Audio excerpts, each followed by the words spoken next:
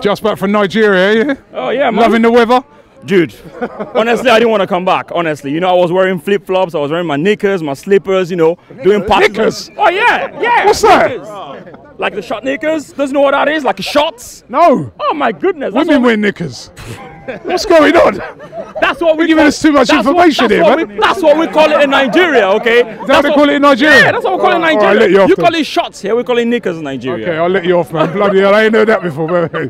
Hey, it was really good. And, I mean, I'm back. Where are you from? Um, from Nigeria? They call it knickers over there. All right, all right. All right. I'm not lying to you. No, I'll give you a shot. All right, I'll give you a blind. Right. What did you make of it today? Great performance. My goodness, I think great is an understatement. Honestly, great is an understatement. I think today's game was a definition of passion, hunger, desire, intensity. That was what won the game for us today. Every single player in this team today were up for the fight. They were playing like wounded lions. They were playing like people that got hot somehow. Maybe I don't know. Maybe the West Ham game got them pissed off, and then when Emery went and like, you know what, you guys need to put in the performance, and they did it today. Now, if you look at individual, some individual players, let's start from the defense. Yeah, let's start with Sokratis. Sokratis today was like a marshal. It was like conductor. It was like someone that was speaking to every single player in that team. There was a point that I, I actually saw him talking to Iwobi. Iwobi was far. It was like telling Iwobi, turn so that the keeper will actually give you a cross. And that's exactly what Leno did. I saw a time that he went for a tackle and he, you know, he put his thumbs up like, you know, he's won a goal or something. I was like, that is a very, very wonderful player in that squad. Now, let's move over to Koscielny. Koscielny today was like a silent iron. He was doing his job. For me, he was the best player on the pitch. Do you know why? He played very stainless football. Stainless interceptions, stainless tackles, headers. And if you look at the goal he actually scored, he had an attempt before then with a header. Yeah. And then he scored another one. And all those things was all down to the fact that he was really focused. And guess what? I actually saw some little discomfort in his leg. It seems as if he's not yet there yet because of the Achilles injury he had. What's going on down behind? Sorry, Sorry. your knickers down. No, no, no. Don't touch my knickers, guys. Mate, we do get interviews. Right. So let's just sorry. Yeah. So um. So for me, those two players really, really stand They out. got to do this every week, though. You've, you've heard the point that's been made by a lot of people Yeah.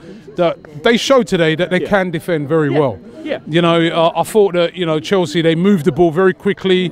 You could see what they were trying to do. They were Yeah. trying to create openings, but we we stuck to it resolutely. Yeah. We've got to keep doing that every week Yeah. because you know we all, we know we score goals. Yeah.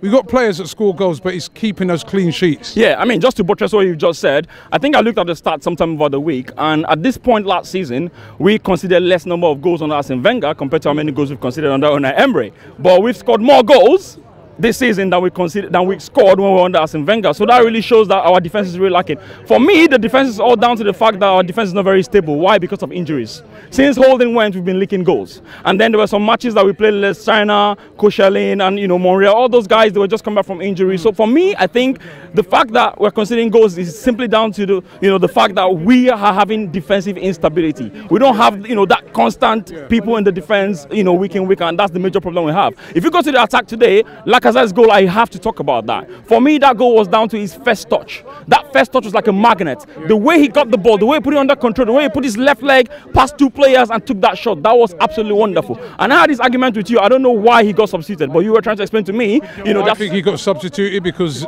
you know you can just leave Aubameyang up front on his own, Yeah. and it's his pace. Yeah, you can hit them long balls, and he, he, he gets onto them. Yeah, the reason I was a bit maybe I have a soft spot for him because I feel it's it's, it's unfair. Every single time he knows he's always gonna go off the pitch before Aubameyang, and that's a bit unfair. I think maybe he should switch it over sometimes and just leave Lacazette to make him happy because those kind of things can actually you know bring a player's confidence down. But you know what? Yeah, I'm happy we got the win, two 0 Can we make the top four this season? I said that before we can make the top four. For me, I think um, Tottenham, um, Chelsea, um, Manchester United, um, and, and us, we have a chance. It's between the, the four of us, as far as I'm concerned, for that top four position. And I think we have a great chance. There's nothing that's going to stop us from winning, um, from getting the top four, except we falter. Or except we have to get that defense back the way it is today. If we continue like that on a constant level, there's nothing that's going to stop us in getting top four. Thank you very much.